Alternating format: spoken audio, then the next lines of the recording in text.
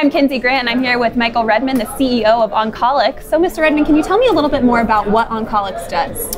Oncolix is a biopharmaceutical company that is targeting women's cancers. Our current focus is in ovarian cancer, but we have the ability to work in all the gynecological cancers and breast cancer. So, can you tell me a little bit more about uh, what your most exciting research is right now and what you've got coming down the pipeline? Our lead product is called Prolanta. It is a blocker or an antagonist of human prolactin.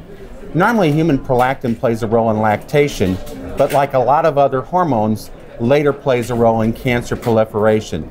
So our drug has a unique mechanism of action called autophagocytosis or autophagy, and we believe that this is the only cancer drug in clinical trials that works by this novel mechanism of action.